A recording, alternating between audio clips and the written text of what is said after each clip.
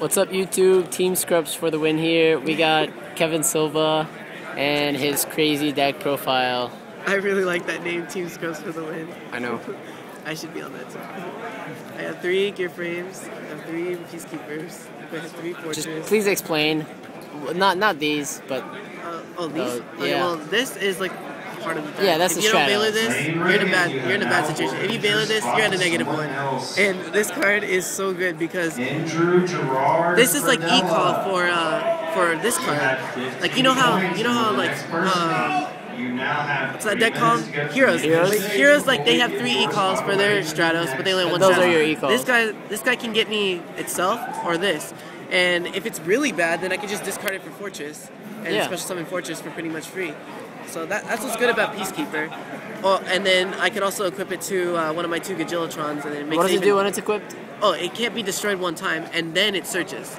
So like on top of that, you weren't able to kill it, and oh, then I get to search kill that. So even if you torrential, you can destroy their monsters, but yours Oh, stays alive. no, not torrential. Like, it, like if I summon this, they're obviously gonna torrential first. But let's say they they uh, they set torrential after I summon Peacekeeper, then yeah, it's better. But Okay. this is for cards like Dark Hole, Smashing Ground. Okay. Pretty much shuts them down. So I also run three Veiler. Have to run three Veiler. Priority's gone. Yeah. You have to run three Breaker. Breaker, break your own Geartown. Breaker, break your Bottomless, Deep Prison. That's what these cards die to. And Bottomless kills this card too, so you know you have to kill back rows. Yeah. And let's see, you got the two Tragoedias, really broken. You know, you produce hand advantage with this and this, and you can just sit on these versatile. cards. Just sit on these cards. And then drop Tragoedia, it's like, what, 3,000? Gerard Beater, Bernal. beat, beat. Gorz. Nobody really expects Gorz because I run field spells and they think I'm running like some type of gadget trap deck. That's what everyone thinks. Uh, I don't know why. And then I have Machina Cannon. It's really inconsistent to me. But um, when you got three of these, searching three of these, searching three of these, this card works really well with this. If you if you have this engraved ever, right, and you have no cards in it, and you draw a gear frame, you can summon gear Will frame, search uh, please come to the cannon, it's an eight star, discard it, summon Fortress back. come up to Now you have a broken field of one top deck. Or another reason why this is good is against heroes. I, I like talking about the hero match because I faced a lot of heroes today uh, and yesterday. Oh no, I didn't face any heroes today, but yesterday and day one. Trigodium. I discard the cannon and I take their shining. So they wasted all their time bringing out shining, and then I have the shining along with Tragoedia. So it's like Oh, wow. they got really destroyed by like Yeah. that. So that's uh, 22 monsters. The last monster is Karakuri Ninja Sazane. Why? This card takes out Zenmaines. This card is a discard for this if they have Sangan out. If they have Sangan out, I take it and then I contact. Yeah, you did stars. that in one of your matches. yeah, Yeah, I did that one of my matches. Another thing this is good against is Zenmaines. Zen mains is amazing. Just, just send it away. I can attack directly for game with this card. It actually has attack unlike Snowman. And This This guy's ruining my- ruining my time with you. Stage in 36 seconds. See, he, he makes useless announcements. Freaking Konami, you know? Alright, well, anyway. Oh, I hope Konami doesn't get me for that, but. I draw this, right? And I have a Fortress dead in hand. I go draw this as a machine, so I can discard, discard, special summon it back. Yeah. And the good thing, like, good thing about having all these machines is this is like three reborns. If I draw these cards, three reborns. That's true. Just one discard reborn to bring this back. Bring and right back. not even mentioning my fourth reborn that's right here is a spell card. So it's like essentially I have four reborns. Yeah. Uh, so that's 22 monsters. Way too much to learn in that game. Oh yeah.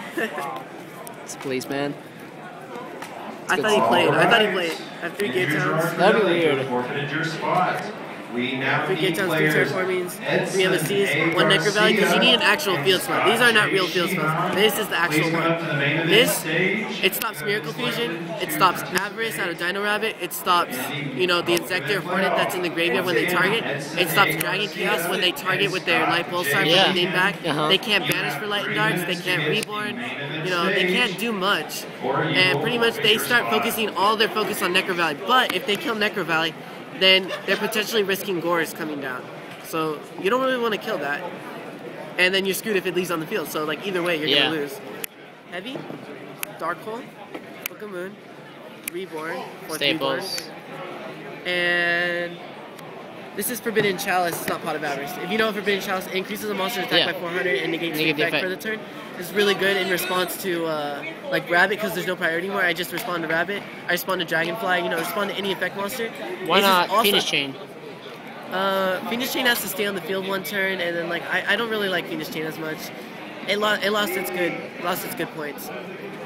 But it's still good against down ramps. Don't get me wrong. Uh, this is good. Forbidden Chalice is really good because I can, like, let's say I attack Zenmaines, and then they're like, oh, okay, sure. Like, they're just gonna and then detach a counter and then kill it. I just damage step, kill it. Since the effect's Yeah. negated, he can detach, but it still dies. Yeah, damage step. So that's really good on uh, that part. And so that's 37 with 15 spells. And what was your record? To, uh, what was your record at the Uh, day one, day one, I lost to uh, round two. I lost to Lightsworn, and he just OTK'd me turn three both games. Is really disappointing.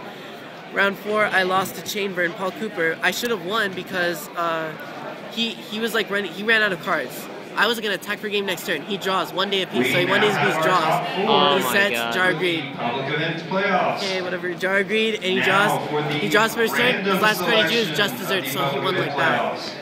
I Oh should have won that game. God, that's So I went undefeated the whole rest, and then I go to day two, and I lose to two Inzektors because this deck isn't as good against Inzektors. Well, that's bad, just a bad matchup.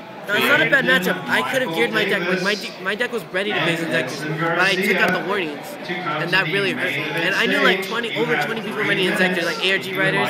Everyone except me, Frazier, and Joe were running Inzektors. Everyone on ARG except me, Joe, and Frazier. Really?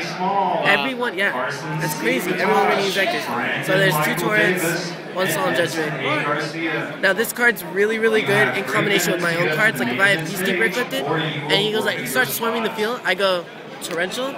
Now my Peacekeeper dies, his monsters die, my monster doesn't die, and I search a And gear you search, so you that's plus, like, like, that's so amazing. And this card's really good in like Inzektor Summon, just Torrential, you know, and um, Yeah. it punishes bad players a lot. I know bad players like to overextend a lot, and this just punishes them for that. And I, I personally, I like overextending too because I like making, um, I like making them rely on what they have rather than you know dragging out a long game. So I understand those players that like to summon fast because they think that Torrential's at one, but now it's at two. Yeah. And the last the last card was Forbidden Lance, but I figure Solemn Judgment's a lot better right now. Solemn Judgment, if you Solemn and break their setup, like they break, they're starting to set up on you, and you break one card in their setup that you know is good. Of course, it costs half, but it's worth it because now they're like their whole hand's anyway. dead or their field like it just messed up everything. Yeah. And people, I, I hear people complain a lot when they lose to Solemn Judgment.